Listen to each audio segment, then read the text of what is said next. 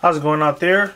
Welcome from H2 Tech Video. Today I want to show you the new AOL Mail app for the iPad, which is, man, this really awesome app for those of you that still use AOL.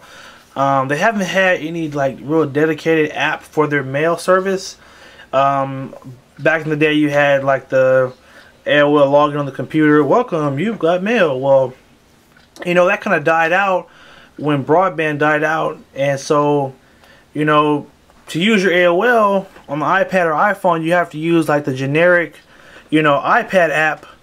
But, um, you know, now you actually have a custom app which is free. Just put in AOL Mail. In fact, uh, that should still be on the page in the App Store. It's this one right here. AOL Mail, News, Wealth, da da da.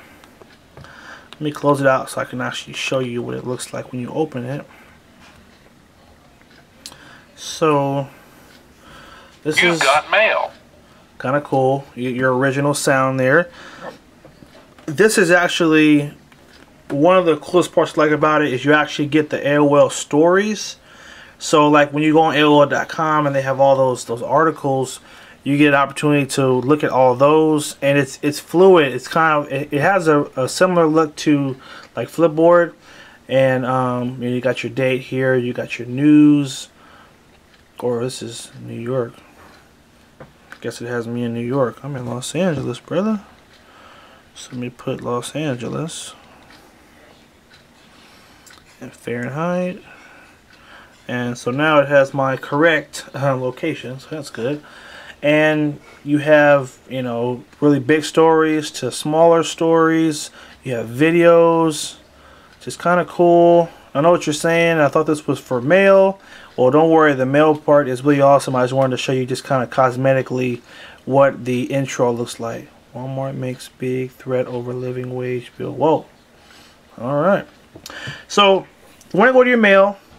Upper right corner here you have a mail icon and when you tap that it'll show you a preview of a couple of your uh, emails. I'm going to tap on that one. And right here, this is uh, something I subscribe to called Joke of the Day.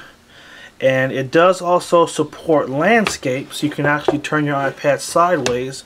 This is the, the view I actually prefer because in landscape you can see a lot more of the page in the normal view that it's supposed to, to look like. So there's my little joke of the day email.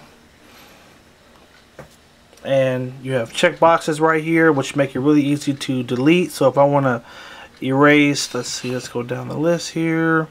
Uh, live chat, I'm going to tap that. Roadside service, deposit, deposit. Let's say I want to delete all those emails. I just check them and then I just tap delete. I could also spam them. I could, you could move them to folders. I'm going to just tap delete and they're gone. So um, it's just a very nice smooth interface um, and I, I feel like anyone could enjoy this app because especially when you compare this to um, the generic you know iPad app where is it um, this is just the generic Apple app that's on you know the um, that comes with the iPad, and it's you know it's it's okay, but it's boring, you know. So you have kind of a, just a boring generic look here, but I'd much prefer being able to see it this way, you know. And you have quick access to again, you can reply, forward, delete, spam. You can um, save some things for later you have uh, AOL top videos, which is cool. So you you have the full power of AOL, which you normally used to get from the computer, but now you have it right on your iPad. Now I'm using it on the mini. Um, it looks even nicer when you look at it on a full-size iPad as well. So you can also search the web right through here. So let's type in Magna Carta Holy Grail.